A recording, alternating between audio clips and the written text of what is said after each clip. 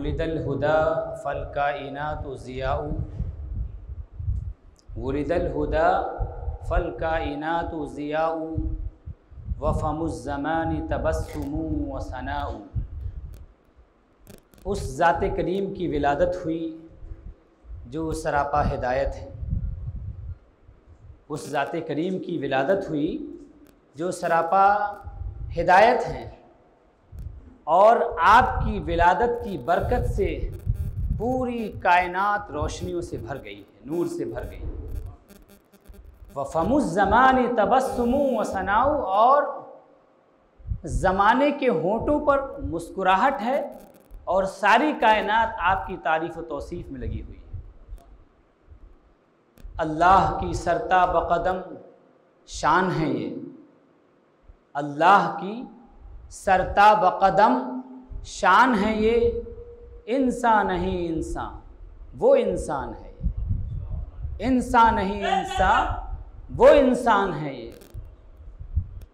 कुरान तो ईमान बताता है इन्हें। कुरान तो ईमान बताता है इन्हें। ईमान ये कहता है, मेरी जान है। ईमान ये कहता है, मेरी जान है।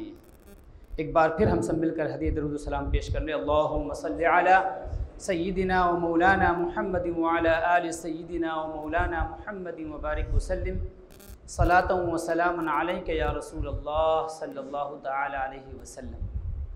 नबी करीम सलात व तस्लीम की विलादत, आपकी पैदाइश इंसानी तारीख़ का वो अज़ीम वाक़ है कि अल्लाह तबारक व ताली ने नबी करीम सल्लल्लाहु अलैहि वसल्लम की बेसत, नबी करीम सल्लल्लाहु अलैहि वसल्लम के भेजे जाने, आपकी विलादत पर अल्लाह तबारक व ताली ने एहसान जताया। और कुरान करीम में इरशाद फरमाया, लक़द मन अल्लामिन इस बाफ़ीम रसूल मिन अनफुसिहिम कि यकीनन अल्लाह तबारक ताली ने मोमिनों पर एहसान फरमाया, जब उन्हीं में से एक रसूल को मबूस फरमाया, उन्हीं में से एक रसूल को भेजा। अल्लाह तबारक ताली ने मोमिन का तस्करा करके खसूसियत के साथ अपने एहसान का ज़िक्र किया। तो नबी करीम सल्लल्लाहु अलैहि वसल्लम की विलादत इंसानी तारीख़ का वो अजीम वाक़ है कि जिस वाक़े के रोनमा होने के बाद इंसानी तारीख़ में बहुत सारी तब्दीलियाँ आई। बल्कि ये हम कह सकते हैं कि इंसानी तारीख़ में रेडिकल चेंजेस आए, बुनियादी तब्दीलियाँ पैदा हुई। अल्लाह के नबी सल्लल्लाहु अलैहि वसल्लम की विलादत के बाद, आपकी बेसत के बाद दुनिया में क्या तब्दीली पैदा हुई है, किस हैसियत से हुजूर करीम आलत तस्लीम को भेजा गया है इसका अल्लाह तबारक ताली ने ख़ुद कुरान करीम में ज़िक्र फरमाया, अल्लाह ने इशाद फरमाया कि वमा अरसलना का रहमतमीन हमने आपको सारी कायनात के लिए रहमत बना करके भेजा सारी कायनात के लिए, सिर्फ़ इंसानों के लिए नहीं होल यूनिवर्स पूरी कायनात के लिए अल्लाह तबारक ताली ने रहमत बना करके भेजा है। और नबी करीम सलात तस्लीम खुद ही इर्शाद फरमाते हैं आप फरमाते हैं कि इन नमा आना रहमतुन मुहदातुन। मैं अल्लाह तबारक व की तरफ़ से अता करदा खसूसी रहमत हूँ। अजीम तरीन रहमत हूँ अल्लाह तबारक व ताली की। नबी करीम सल्लल्लाहु अलैहि वसल्लम की ज़ात गिरामी, सारी कायनात के लिए कैसे रहमत है? और खसूसियत के साथ इंसानों के लिए आपकी ज़ात गिरामी कैसे रहमत है? इसका तस्करा कुरान करीम में अल्लाह तबारक ताली ने फरमाया है। अल्लाह तबारक ताली अपने हबीब लबीब सल्लल्लाहु अलैहि वसल्लम की विलादत आपकी आमद का तस्करा करते हुए इरशाद फरमाता है, लक़द जाअकुम रसूल मिन अनफुसिकुम। यकीनन तुम्हारे दरमियान एक अजीम रसूल तशरीफ़ लाए हैं। मिन अनफुसिकुम, जो तुम्ही में से हैं। अजीज़ुन अलैहि मा अनित्तुम तुम्हारा तकलीफ़ों में गिरफ़्तार हो जाना, मुसीबतों में गिरफ़्तार हो जाना, मशक्क़तों में गिरफ़्तार हो जाना, उनको बहुत गिरा गुजरता है, उनको बहुत तकलीफ़ होती है। हरीसन अलैकुम, वो तुम्हारी भलाई के, तुम्हारे खैर के बहुत ज़्यादा ख्वाहिशमंद है। बिलमिन रऊफ़ रहीम, और मोमिनों पर रऊफ़ और रहीम है। अल्लाह तबारक ताली ने नबी पाक सल्लल्लाहु अलैहि वसल्लम की आमद का तस्करा फरमाया। अल्लाह तबारक ताली अपने रसूल सल्लल्लाहु अलैहि वसल्लम की मिलाद खुद ज़िक्र फरमा रहा है। अल्लाह तबारक ताली ने फरमाया कि तुम ही में से एक रसूल तशरीफ़ लाएँ। ये तुम ही में से जो ज़िक्र किया गया है, इसमें ख़ास नुकता ये है अल्लाह तबारक ताली दरअसल दुनिया को ये पैगाम देना चाहता है कि लोगों, ये जो रसूल तशरीफ़ लाए, इनका ताल्लुक़ फ़रिश्तों की जमात से नहीं है। क्योंकि फ़रिश्तों की तबीयत ऐसी होती है कि उनको, फ़रिश्तों को अल्लाह तबारक ताली ने इस तरीके से बनाया है, उनकी तख्लीक इस तरह से हुई है कि लायासून अमरहम वफ़ालून मायूमरून कि वो अल्लाह तबारक ताली ने उनको जिस काम के लिए पैदा फरमाया है, वो उस काम को करने में मुसलसल लगे रहते हैं और उसमें उनसे ज़र्रा बराबर कोई कोताही, कोई कमी और बेशी नहीं होती है। तुम्हारे दरमियान जो तशरीफ़ लाए हैं जो रसूल, उनकी अजमत यही है कि वो इंसानों में से हैं। और इंसानों में से होते हुए भी उनके अंदर वो कमालत जमा हैं, उनके अंदर वो खसूसियात जमा हैं कि उमूमन इंसानों के अंदर वो खसूसियात जमा नहीं हो पाती वो खसूसियात उनके अंदर पैदा नहीं हो पाती हैं। इंसान होने के बावजूद अल्लाह तबारक ताली ने उनको बड़ी रिफातों से, बड़ी अजमतों से नवाजा है। इंसान ही इंसान, वो इंसान है। अल्लाह की सरता बकदम शान है। तो अल्लाह तबारक ताली ने अपने हबीब सल्लल्लाहु अलैहि वसल्लम का तस्करा करते हुए इरशाद फरमाया कि हमने जो इस रसूल करीम सलात व तस्लीम को सारी कायनात के लिए रहमत बना कर के भेजा है तो ये रहमत कैसे हैं? अल्लाह तबारक ताली ने इस आयत करीमा में नबी करीम सल्लल्लाहु अलैहि वसल्लम की चार सिफतों का ज़िक्र किया है। सबसे पहली सिफत ये ज़िक्र फरमाई कि, अजीज़ुन अलैहि मा तुम कि तुम अगर तकलीफ़ में गिरफ़्तार हो जाते हो, मुसीबतों में गिरफ़्तार हो जाते हो तो तुम्हारा तकलीफ़ में गिरफ़्तार हो जाना, मुसीबतों में गिरफ़्तार हो जाना, ये उनके ऊपर बहुत गिरा गुजरता है, आपको बहुत तकलीफ़ होती है इसकी वजह से। और दूसरी सिफत अल्लाह तबारक ताली ने ज़िक्र फरमाई कि हरीसन अलैकुम, ये तुम्हारी भलाई के, तुम्हारे खैर के, तुम्हारी तरक्की के बहुत ज़्यादा ख्वाहिशमंद है। और तीसरी सिफत अल्लाह तबारक ताली ने ज़िक्र फरमाई मोमिन के हवाले से ख़ास कि रऊफ़ुन, कि ये रसूल रऊफ़ हैं। और चौथी सिफत अल्लाह तबारक ताली ने ज़िक्र फरमाई कि ये रहीम है। अगर इस आयत करीमा में गौर कीजिए तो पता चलेगा कि जो इब्तदा की शुरू की जो दो सिफतें हैं अज़ीज़ तुम और हरीसन अलैकुम, इन दोनों सिफतों का ताल्लुक़ पूरी इंसानियत के साथ है। इसलिए कि यहाँ पर अल्लाह तबारक ताली ने मोमिन का तस्करा नहीं फरमाया। मोमिन का तस्करा आगे आ रहा है कि बिलमिन रऊफ़ रहीम मोमिन के लिए तो ये रऊफ़ हैं और रहीम हैं। अल्लाह तबारक ताली ने अजीज़ुन अलैहि तुम जहाँ पर फरमाया, हरीसन अलैकुम जहाँ पर फरमाया तो वहाँ पर किसी का तस्करा नहीं किया गया, बल्कि इसको एक जनरल रखा गया, कॉमन रखा गया, और इसके अंदर कोई तखसीस नहीं की गई।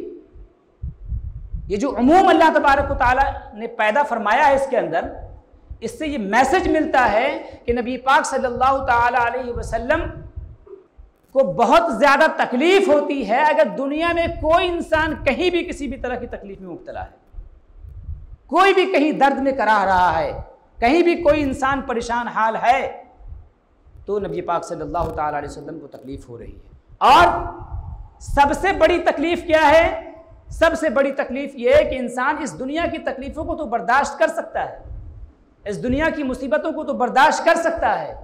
लेकिन अगर इंसान अपने खालिक को मालिक को छोड़ करके किसी और के सामने अपना सर झुका रहा हो, किसी और की इबादत कर रहा हो, किसी और को अपना रब मान रहा हो तो इससे बढ़ के कोई तकलीफ़ की बात नहीं हो सकती है, क्योंकि इसकी बुनियाद पर वो हमेशा हमेश की जहन्नम में जाएगा, हमेशा हमेश के आज़ाब का वो शिकार होगा। तो अंदाज़ा कीजिए कि जो लोग ईमान पर नहीं हैं उनके ईमान पर ना होने की वजह से नबी पाक सल्लल्लाहु अलैहि वसल्लम को कितनी तकलीफ़ होती है। इसीलिए नबी पाक सल्लल्लाहु अलैहि वसल्लम के बारे में जो अगली सिफत ज़िक्र की गई है फ़ौरन, उसकी अगर तखसीस कर दी जाए, उसके अंदर ख़ास माना बयान किया जाए तो ये निकलेगा, हरीसन अलैकुम, कि तुम्हारी हिदायत के वो बहुत ज़्यादा ख्वाहिशमंद हैं। वो चाहते हैं कि तुम सब ईमान ले आओ, तुम सब एक मबूद के मानने वाले बन जाओ, एक रब की बारगाह में सर झुकाने वाले बन जाओ। अल्लाह तबारक ताली की ज़ात के साथ शिरक से अपने आप को रोक लो। और यही वजह है कि नबी पाक सल्लल्लाहु अलैहि वसल्लम की ज़िंदगी देखिए कि आप हिदायत के लिए बहुत ज़्यादा ख्वाहिशमंद थे। कि अल्लाह तबारक ताली ने कुरान मजीद में इरशाद फरमाया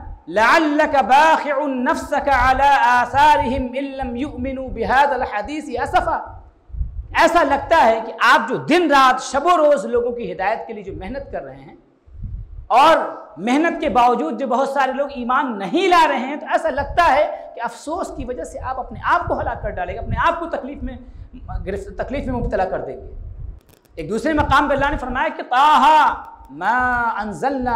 कुरान तशक़ा ए हबीब, हमने इस कुरान को इसलिए नहीं उतारा कि आप मशक्क़त में पड़ जाएँ आप तकलीफ़ में पड़ जाएँ। आपका काम पहुंचाना है, आप पहुंचाइए। आप लोगों को अल्लाह के दीन की तरफ़ बुलाइए। लेकिन अल्लाह के हबीब सल्लल्लाहु अलैहि वसल्लम का कल भी ऐसा है, उसके अंदर रहमत ही ऐसी है कि आप चाहते ये हैं कि कोई भी इंसान जहन्नम में न जाए। कोई भी इंसान अल्लाह के गज़ब का शिकार ना हो। कोई भी इंसान अल्लाह तबारक ताली की रहमत से दूर ना हो। इस आयत करीमा के अंदर जो पहली दो सिफतें हैं अज़ीज़ तुम कि तुम्हारा तुम्हारा मशक्क़त में पढ़ना उनको गिरा गुजरता है, कितनी बड़ी बात है। कि अल्लाह के नबी सल्लल्लाहु अलैहि वसल्लम का कैसा दिल है और कैसी मोहब्बत है उसके अंदर इंसानियत की, कि तकलीफ़ में कोई गिरफ़्तार है और दर्द किसी और को हो रहा है। मुसीबतों में कोई गिरफ़्तार है और दर्दमंद आप हैं। हरीसन अलैकुम, वो इंसानियत की भलाई के शदीद ख्वाहिशमंद हैं। वो कब चाहेंगे कि दुनिया के अंदर अफरा तफरी हो? वो कब चाहेंगे कि दुनिया के अंदर खून खराबा हो? वो कब चाहेंगे कि लोग एक दूसरे का गला काटें? नबी पाक सल्लल्लाहु अलैहि वसल्लम की बेसत आपकी विलादत ही इसीलिए हुई है ताकि दुनिया के अंदर आप अमन शांति कायम कर दें। आप दुनिया को अमन से भर दें, आप दुनिया को मोहब्बतों से भर दें। इसीलिए नबी पाक सल्लल्लाहु अलैहि वसल्लम ने शाद फरमाया कि वो इस्तम मकारिम अखलाक, कि मैं इसलिए भेजा गया हूँ ताकि अच्छे अखलाक को मुकम्मल कर दूँ, सारे लोगों को बाखलाक बना दूँ।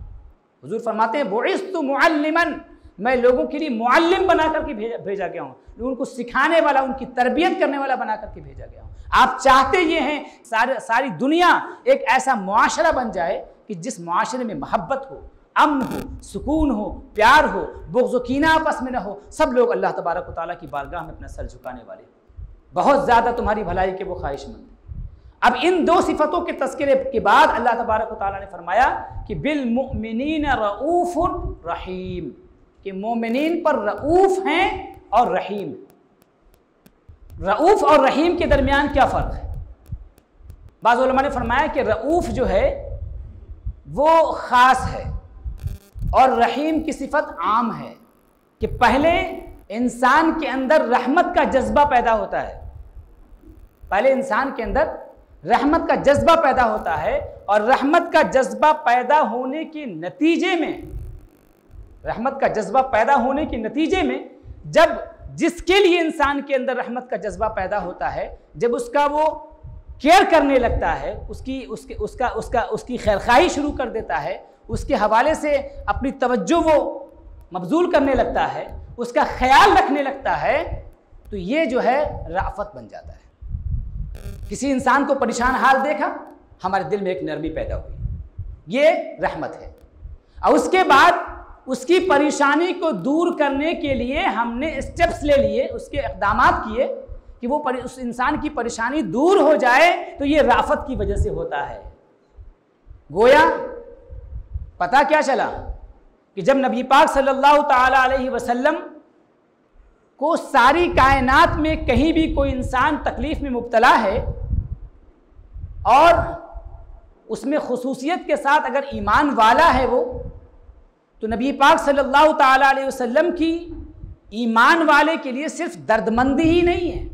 सिर्फ़ ये नहीं कि आपको तकलीफ़ होती है, बल्कि नबी पाक सल्लल्लाहु अलैहि वसल्लम उसकी तकलीफ़ को दूर फरमाने के लिए इकदाम भी फरमाते हैं। अपनी ज़िंदगी में तो नबी पाक सल्लल्लाहु अलैहि वसल्लम ने अमली तौर पर इसको अंजाम दिया ही। अब जबकि आप अपने अपने कब्र अनवर में तशरीफ़ रखते हैं तो अब भी नबी पाक सल्लल्लाहु अलैहि वसल्लम मोमिन की मुसीबतों को दूर करने के लिए इकदाम फरमा रहे हैं। वो कैसे फरमा रहे हैं? कि हदीस शरीफ में आया, अल्लाह के रसूल सल्लल्लाहु अलैहि वसल्लम इरशाद फरमाते हैं कि तुम्हारे अमाल मुझ पर पेश किए जाते हैं। तो अमालुकुम तुम्हारे अमाल मुझ पर पेश किए जाते हैं। जुमा के दिन का तस्करा ख़ास तौर से आया है कि जुमा के दिन तुम्हारे अमाल मुझ पर पेश किए जाते हैं। और फरमाते हैं कि फ़ैन राई तुफ़ी खैरन अगर मैं उसमें खैर देखता हूँ, नेकी देखता हूँ, भलाई और तकवा देखता हूँ तो हमिदुल्लाह तो मैं अल्लाह तबारक ताली की हमद बयान करता हूँ। मौला, तेरे लिए हमद है कि मेरी उम्मत तेरे रास्ते पर कायम है, तेरी इतात में लगी हुई है, तेरी फरमाबरदारी में लगी हुई है। और अगर इन राय तो फ़ी ही शर्रन, और अगर मुझे उसमें कोई शर नज़र आता है, कोई बुराई नज़र आती है वो हमारी, मेरी उम्मत की बदामालियाँ नज़र आती हैं उसके अंदर तो हुजूर कैसे इकदाम फरमा रहे हैं? फरमाते हैं कि इस्तगफर तो रकुम मैं तुम्हारे लिए दुआए इस्तगफार करता हूँ, मैं मगफरत करता हूँ, मगफरत की दुआ करता हूँ तुम्हारे लिए। अल्लाह तबारक ताली की बारगाह में दुआ करता हूँ। क्या दुआ? वही दुआ जो कि आप पूरी ज़िंदगी अपनी उम्मत के लिए फरमाते रहे। अल्लाह मगफिर उम्मती अल्लाह मगफिर उम्मती अल्लाह मगफिर उम्मती। ए अल्लाह, मेरी उम्मत की मगफरत फरमा दे, मेरी उम्मत की मगफरत फरमा दे, मेरी उम्मत की मगफरत फरमा दे। तो नबी पाक सल्लल्लाहु अलैहि वसल्लम मोमिनों पर रऊफ़ हैं। उसके बाद आपकी सिफत आमा का ज़िक्र किया गया कि रहीम और आप रहीम हैं। तो बाज़ा ने फरमाया कि रऊफ़ ख़ास है और रहीम आम है।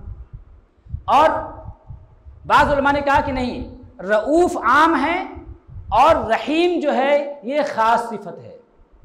इस सूरत में माना क्या होगा कि राफत का मतलब होगा किसी भी तरह की नरमी किसी के लिए जो पाई जाए, वो राफत है। और आखिरत में जो नबी पाक सल्लल्लाहु अलैहि वसल्लम की जो खसूसी रहमत मोमिन को हासिल होगी, कि मोमिन को आपकी शफात हासिल होगी। गुनहगार, परेशान हाल, मैदान हशर में जब परेशान हाल होंगे, सब लोग भूल चुके होंगे, उस वक्त नबी पाक सल्लल्लाहु अलैहि वसल्लम अपनी उम्मत को याद रखेंगे।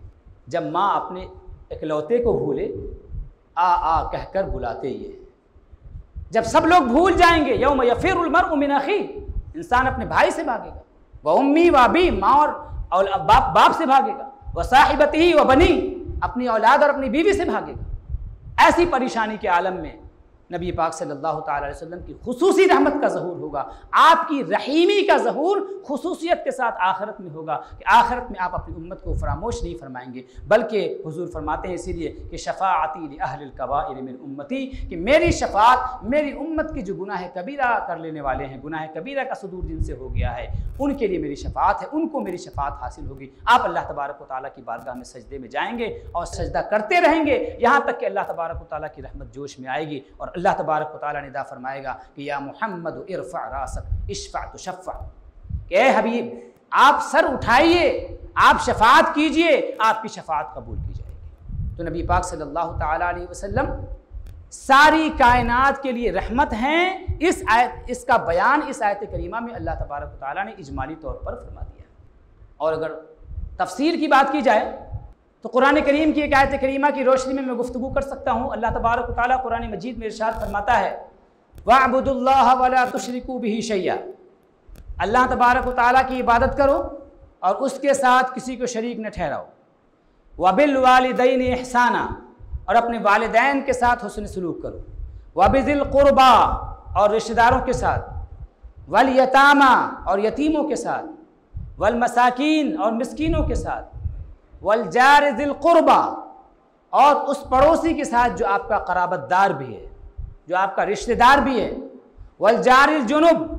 और वो पड़ोसी जो दूर का पड़ोसी है, करीब का पड़ोसी नहीं है, वह साहिब बिलजम और उसके साथ उसने सलूक करो, जो भी आपके बगल में है, जो भी आपके पहलू में है वह अपनी सबील और मुसाफिर के साथ उसने सलूक करो।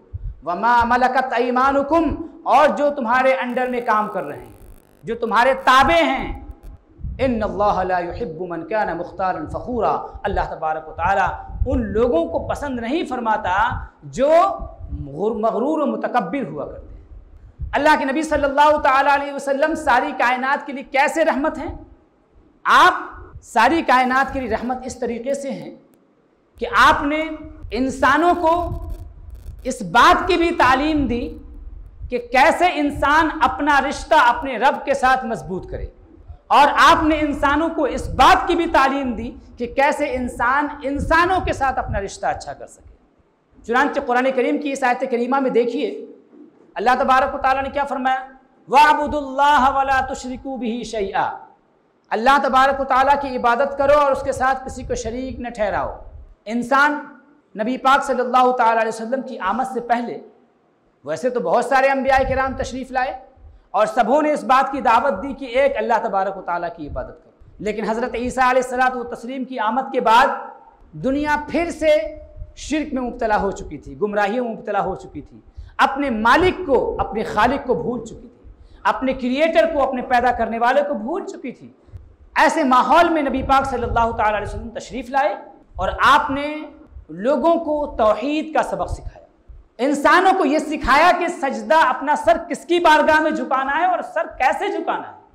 अल्लाह तबारक ताली जिसने कि हमको अपने एहसानात से घेर करके रखा है, जिसने फरमाया कि वह इन तउद्दू नमतल्लासुहा अगर तुम अल्लाह की नेमतों को शुमार करना चाहो तो शुमार नहीं कर सकते। वो ज़ात जिसने हमको अपने एहसानात में घेर के रखा है, उस ज़ात की हमदोसना कैसे की जाए? इंसानों को हमद का सलीका सिखाया। इंसानों को रब ताला की सना, उसकी तारीफ़ का, उसकी तोसीफ़ का सलीका सिखाया कि कैसे अपने रब की बारगाह में अपने, अपनी बंदगी के नजराना पेश करना है। अपनी बंदगी के नजराना कैसे पेश करना है? अल्लाह तबारक ताली ने इस बात की, इंसानियत को तालीम दी। तो अल्लाह के नबी सल्लल्लाहु अलैहि वसल्लम ने इंसानों को ये बताया कि कैसे अपना रिश्ता अपने खालिक व मालिक से मज़बूत करना है। कैसे उसे राज़ी करना है, वो कैसे राज़ी होगा? ये सिखाया।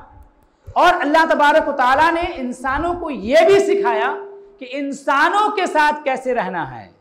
इसलिए कि इस दुनिया के अंदर इंसान जो जी रहा है, ज़िंदगी गुजार रहा है तो ज़िंदगी इंसानों के साथ गुजार रहा है, इंसानों के दरमियान रह रहा है।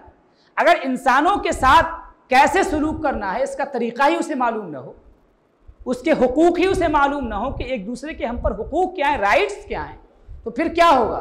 फिर यही होगा कि लोग आपस में बदसलूकी का शिकार होंगे, एक दूसरे के साथ बुरा सलूक करेंगे और फिर ये दुनिया जन्नत नहीं, बल्कि जहन्नम बन के रह जाएगी। लोग लड़ेंगे और एक दूसरे को मारेंगे और मरेंगे, काटेंगे और खुद भी कटेंगे। दुनिया जो है ये अमन शांति का गहवारा बनने के बजाय ये दुनिया जुल्म से भर जाएगी, नाइंसाफ़ी से भर जाएगी। अल्लाह तबारक ताली के प्यारे रसूल सल्लल्लाहु अलैहि को अल्लाह तबारक ताली ने सारी कायनात के लिए रहमत बना करके भेजा।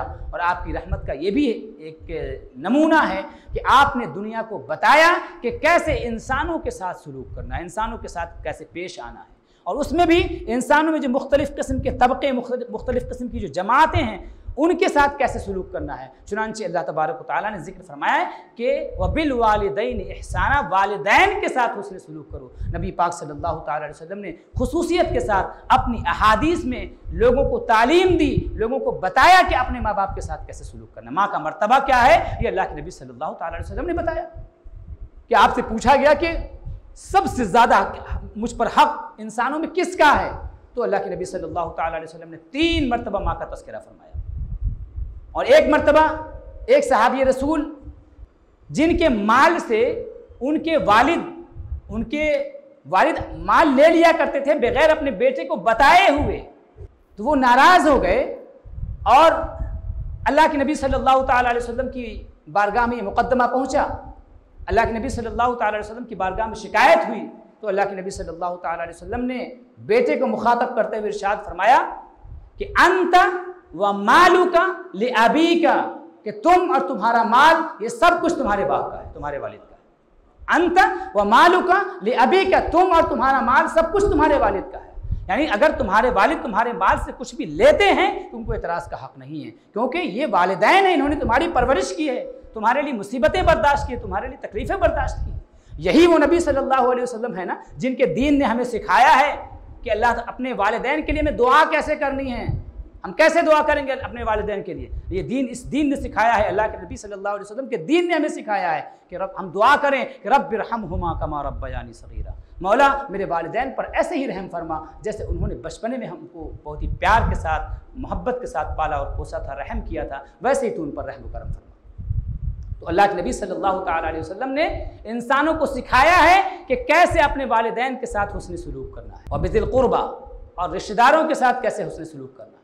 अल्लाह के नबी सल्लल्लाहु अलैहि वसल्लम ने रिश्तेदारों के हुसन सलूक पर बाबा अहादीस है नबी पाक सल्लल्लाहु अलैहि वसल्लम आपने ताकीद फरमाई कि उनके साथ हुसन सलूक करो, बल्कि अल्लाह के नबी सल्लल्लाहु अलैहि वसल्लम ने इशाद फरमाया कि जो इंसान ये चाहता है कि उसकी उम्र में बरकत अता हो जाए और उसकी रोज़ी में बरकत आ जाए तो उस इंसान को चाहिए कि वो अपने रिश्तेदारों के साथ उसने सलूक करे।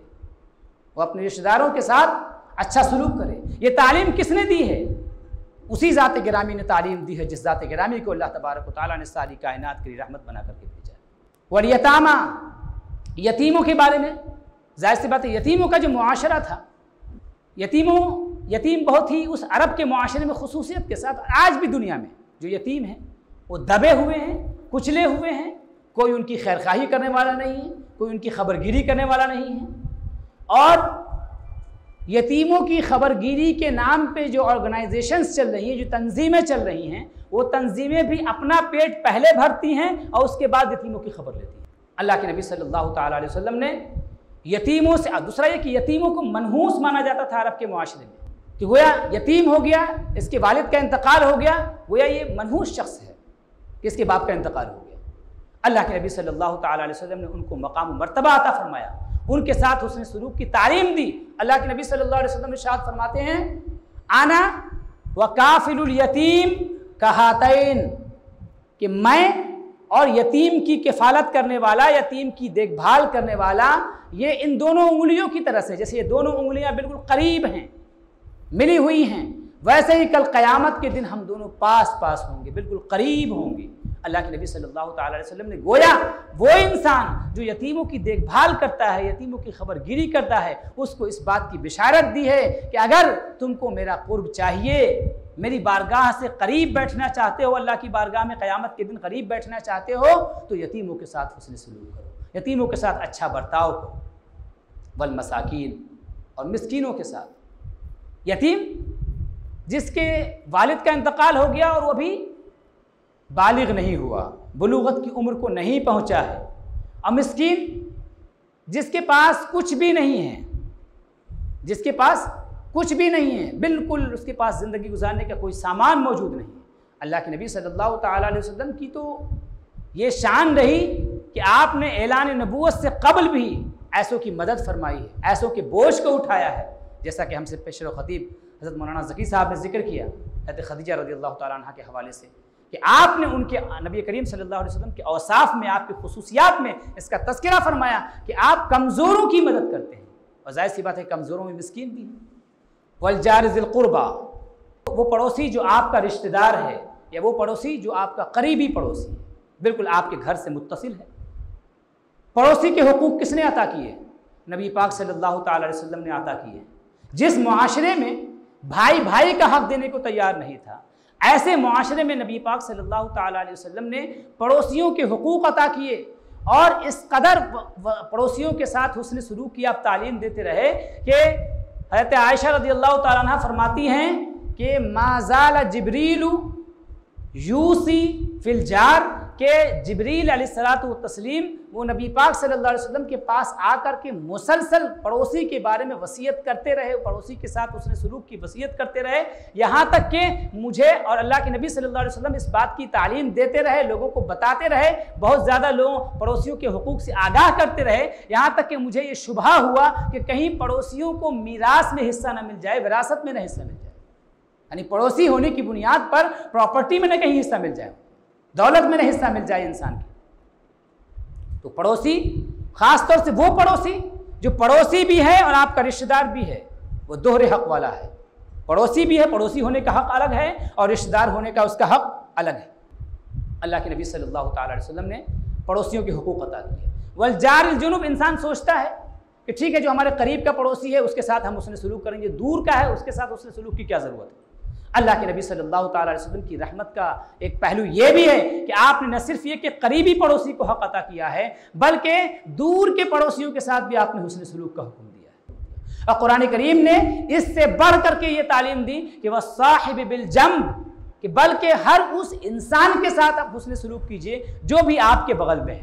मिसाल के तौर पर अभी आप सब यहाँ बैठे हुए हैं और आपकी कुर्सियाँ लगी हुई आपस में एक, एक दूसरे के पड़ोसी हैं। साहिब बिलजम हैं आप। एक दूसरे के बगल में हैं तो आपका हक है। आप सफ़र कर रहे हैं। सफ़र में हम एक सीट पर बैठे हुए हैं और सामने वाली सीट पर दूसरा शख्स बैठा हुआ है। हमारा उससे कोई ताल्लुक नहीं है मज़हब के लिहाज से, दीन के लिहाज से। लेकिन उसके बावजूद उसका हक मेरे ऊपर है कि हम, वो हक क्या है? कि हम उसके साथ हुस्न सलूक करें, उसके साथ अच्छे से पेश आएँ। ये हमारा हक है। तो इस्लाम ने देखिए कि इस पड़ोस के मफहूम को पढ़े उस पड़ोस के माना को कितना आम कर दिया है और कितनी खूबसूरती के साथ अल्लाह के नबी सल्लल्लाहु अलैहि वसल्लम ने इंसानियत को हकूक़ अदा किए वसाहिब वबन सबील। और मुसाफिर, चूँकि इंसान सफ़र में होता है, परेशान हाल होता है। सफ़र में अमूमन इंसान का पहचानने वाला नहीं होता है। कभी भी किसी मुसीबत का शिकार हो सकता है। तो चूँकि सफ़र कर रहे हैं तो सफ़र के दौरान जो मुसाफिर हैं, वह मुसाफिरों का अपना एक मुआशरा है, उनकी अपनी एक सोसाइटी है। उस सोसाइटी उस सोसाइटी को भी नबी पाक सल्लल्लाहु अलैहि वसल्लम ने फरामोश नहीं किया और उनके साथ भी हुसन सलूक का हुक्म दिया गया है।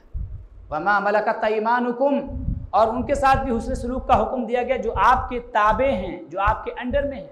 अल्लाह के नबी सल्लल्लाहु अलैहि वसल्लम ने इशाद फरमाया कि ये तुम्हारे खादिम, ये तुम्हारे नौकर तुम्हारे घर में काम करने वाले जो तुम्हारे मातहत होते हैं, तुम्हारे अंडर में होते हैं, ये सब अल्लाह तबारक ताला के बंदे हैं। अल्लाह के बंदे और अल्लाह की बंदियाँ हैं। अल्लाह तबारक ताला ने इनको तुम्हारे ताबे किया है। इसका मतलब ये नहीं है कि तुम उनके ऊपर जुल्म करो, बल्कि हुजूर फरमाते हैं, कुलू मिम्मा ताकुलून जो तुम खाते हो, वो खिलाओ। वक्सु मिम्मा तकसून और वो पहनाओ जो तुम पहनते हो।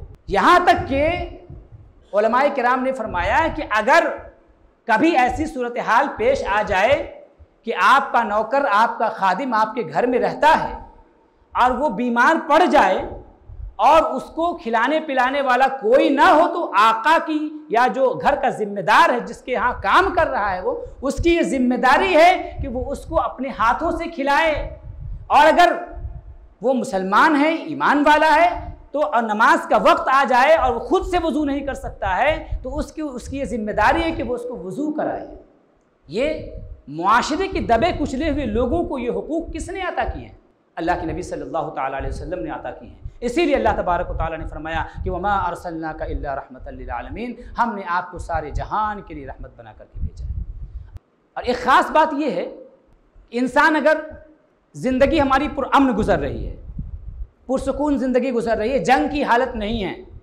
तो अगर जंग की हालत नहीं है, उस हालत में अगर हसन सलूक और इंसानी हकूक़ की रियायत की बात की जाए तो इसमें कोई ताज्जुब की बात नहीं है। लेकिन अल्लाह के नबी सल्लल्लाहु अलैहि वसल्लम, अल्लाह तबारक ताली की ऐसी रहमत हैं कि आपने जहाँ हालत अमन में लोगों के हकूक़ की अदायगी की बात की है, वहीं अल्लाह के नबी सल्लल्लाहु अलैहि ने जंग की हालत में भी लोगों के हकूक़ की अदायगी की बात की है। अल्लाह के नबी सल्लल्लाहु अलैहि वसल्लम जब साहब कराम को जिहाद के लिए भेजते थे, दुश्मनों से लड़ने के लिए, दुश्मनों से मुकाबले के लिए आप भेजते थे तो अल्लाह के नबी सल्लल्लाहु अलैहि वसल्लम ताकीद फरमाते थे कि बच्चों को कत्ल न करना, औरतों को ना मारना, बूढ़ों को ना मारना, जो हथियार डाल दे उसको ना मारना। यही नहीं, आप फरमाते थे कि अगर कोई किसी को तुमने कत्ल कर दिया है तो कत्ल करने के बाद गुस्से की वजह से, दुश्मनी की वजह से उसकी लाश की शक्ल को बिगाड़ने की कोशिश न करना, उसके साथ मुसला न करना, क्योंकि तुम्हारा मकसद था तुम्हारे दुश्मन को कत्ल करना, वो मकसद तुम्हारा हासिल हो गया है। अब इसके आगे ना बढ़ो, इसलिए कि ये वो चीज़ें हैं जो एक हद में जायज़ करार दी गई। मकसद था दुश्मन को मार गिराना, मार गिराया तुमने। अब मार गिराने के बाद उसकी लाशों से खिलवाड़ करने का क्या मतलब है? उससे तुम्हारा कौन सा मकसूद हासिल होगा? उससे तुमको कौन सा फ़ायदा हासिल होने वाला है? लिहाजा ऐसा काम मत करो। यही नहीं, बल्कि अल्लाह के नबी सल्लल्लाहु अलैहि वसल्लम ने ये जो पौधे हैं, इनके इनके ऊपर भी अल्लाह के नबी सल्लल्लाहु अलैहि वसल्लम की रहमत है। कि अल्लाह के रसूल सल्लल्लाहु अलैहि वसल्लम ये तो फरमाते ही हैं कि जो इंसान दरख्त लगाता है, दरख्त लगाने वाले को सदक़े का सवाब मिलता है। वहीं अल्लाह के नबी सल्लल्लाहु अलैहि वसल्लम हालत जंग में भी फरमाते हैं कि अगर तुम जंग के लिए जा रहे हो, दुश्मनों से मुकाबले के लिए जा रहे हो तो रास्ते में हरी भरी चीज़ों को बर्बाद ना करो। खेतियों को बर्बाद ना करो। रास्ते अगर हैं, लोगों के आने जाने की सड़कें हैं तो उन सड़कों को बर्बाद ना करो।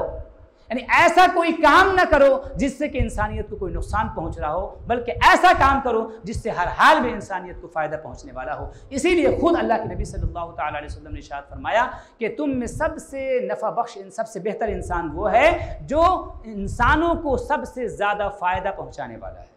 सबसे ज़्यादा फ़ायदा पहुँचाने वाला है। गोया नबी पाक सल्लल्लाहु अलैहि वसल्लम की ज़ात गिरामी इस रूए में ज़मीन पर मबूस ही इसीलिए की गई, आपकी विलादत ही इसीलिए हुई है कि आप इस दुनिया को फ़ायदे से भर दें, नफ़ा से भर दें, आप लोगों के लिए सरापा रहमत बन जाएँ और इसीलिए जो ये उम्मत है रहमतुल्लामीन सल्लल्लाहु अलैहि वसल्लम की जो उम्मत है, इस उम्मत को भी चाहिए कि नबी पाक सल्लल्लाहु अलैहि वसल्लम की जो औसाफ थे आपके जो अखलाक थे, आपके अवसाफ व अखलाक का वो अपने आप को मजहर बनाए, आपके अवसाफ व अखलाक का अपने आप को पैकर बनाए और उनके अवसाफ व अखलाक के पैकर में अपने आप को ढाल करके इस रूए ज़मीन पर जब ये उम्मत मोहम्मदिया चलेगी तो यकीन जानिए कि लोग खुद ब खुद इस उम्मत की तरफ़ मायल होंगे और इस उम्मत के जो रसूल हैं, रसूल करीम सलात तस्लीम की मोहब्बत में गिरफ़्तार होंगे और आपके दीन को भी कबूल करेंगे, इस बात का एतराफ़ करेंगे कि यकीनी तौर पर मोहम्मद रसूल अलैहि वसल्लम की ज़ात गिरामी सारी इंसानियत के लिए रहमत बना करके भेजी गई है। लेकिन अफसोस की बात यह है कि आज जो हम पर जवाल, हमारा जो जवाल हुआ है, हमारे ऊपर जो मुसीबतें आई हैं, उन मुसीबतों के ज़िम्मेदार देखा जाए तो कहीं ना कहीं हम खुद हैं कि हमने तरीक़े मुस्तफ़ा को छोड़ना है वजह बर्बादी। तरीक़े मुस्तफ़ा को छोड़ना है वजह बर्बादी। हमने रसूल करीम सलात तस्लीम के तरीक़े के छोड़ दिया, आपके रास्ते को छोड़ दिया, आपके रास्ते से भटक गए। नबी पाक सल्लल्लाहु अलैहि वसल्लम के रास्ते पर चल करके जो हमारे, हमारी, हमारे जो पेशरव थे, हमारे जो असलाफ थे, सहाब कराम की जमात ताबेन की जमात, तब ताबेन की जमात, बुजुर्गान दीन की जमात, हिंदुस्तान में ख्वाज खाजगा जो तशरीफ़ लाए, ख्वाज खाजगा किस मिशन के साथ तशरीफ़ लाए थे? उन्होंने, ज़ाहिर सी बात है, आपकी ज़बान क्या थी? आपकी ज़बान तो अरबी और फ़ारसी, या उस इलाके की जो ज़बान रही, वो ज़बान रही होगी आपकी। लेकिन आपने हिंदुस्तानियों को ईमान की दौलत कैसे अता की? आपने अखलाक के ज़रिए, अपने आप को मोहम्मदी अखलाक का पैकर बना दिया। हज़रत ख्वाजा खाजगा के ख्वाजा खाजगा के जो खुलफा थे, हज़रत ख्वाजा कुतुबुद्दीन बख्तियार काकी, हज़रत बाबा फरीदुद्दीन गंज शकर, हज़रत ख्वाजा निज़ामुद्दीन अलिया क़दसल्लाम जमिया, इन तमाम जितने भी सूफियाए कराम, इन सूफियाए कराम ने इस्लाम की इशात, दीन की इशात कैसे की है? इसी तरीके से की है कि उन्होंने अपने आप को अखलाक मोहम्मदी का पैकर बनाया। आज भी उम्मत मोहम्मदी अगर अखलाक मोहम्मदी का पैकर बन जाए और नबी पाक सल्लल्लाहु अलैहि वसल्लम को जो रहमत बना करके अल्लाह ने सारे जहान के लिए भेजा है, उस रहमत की सिफत को अपने अंदर वो पैदा कर ले तो यकीनी तौर पर ये जो लोग हैं, लोग मुसलमानों से मोहब्बत करते हुए नज़र आएँगे और हमारी जो शिकायतें हैं, वो शिकायतें भी ख़त्म होती नज़र आएँगी। अकूल को लिहाजा इन गफ़ूररहीम अल्लाम वरहमल वर्क